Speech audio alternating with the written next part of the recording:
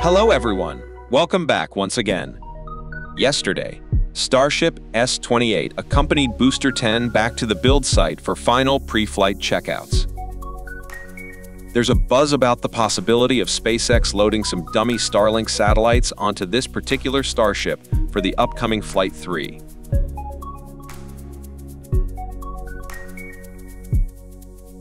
While both the booster and the ship undergo checks at the build site, noticeable changes are taking place at the launch site.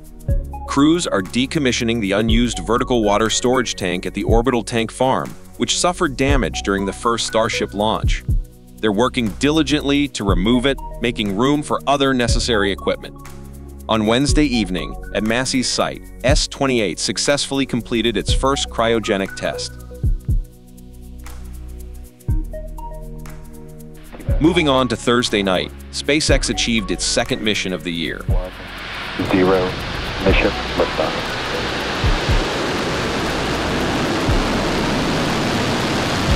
Ovzon 3 soared into space atop a Falcon 9 rocket from SLC-40 at Cape Canaveral Space Force Station in Florida.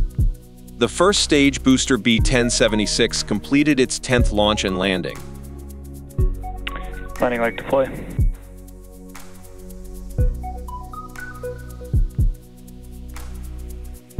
Stage 1 landing confirmed. And there you have it. This landing marks SpaceX's 261st recovery of an orbital class rocket. The year 2024 is off to an incredible start for SpaceX, with last year's record-breaking pace setting the stage for a doubleheader on January 7. Scheduled launches include Starlink 635 from SLC-40 and Starlink 710 from SLC-4E. Shortly after, United Launch Alliance aims to launch the United States' first lunar lander since the Apollo era. Astrobotic's Peregrine lunar lander is set for liftoff aboard the maiden flight of the Vulcan Centaur rocket, scheduled for January 8 at 2:18 a.m. Eastern Time from SLC-41.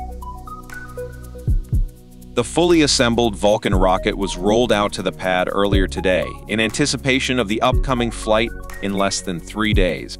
The long-awaited lunar lander will carry 20 scientific payloads on board, including five from NASA to study the lunar surface for future Artemis missions. Best wishes to everyone involved in this mission for a successful flight and a triumphant moon landing, paving the way for America's continued exploration of the lunar surface. I am planning to live stream this launch on the channel, so if you're interested, you can watch it live here in three days and all the SpaceX launches mentioned earlier. That wraps up this brief video. Thank you for tuning in.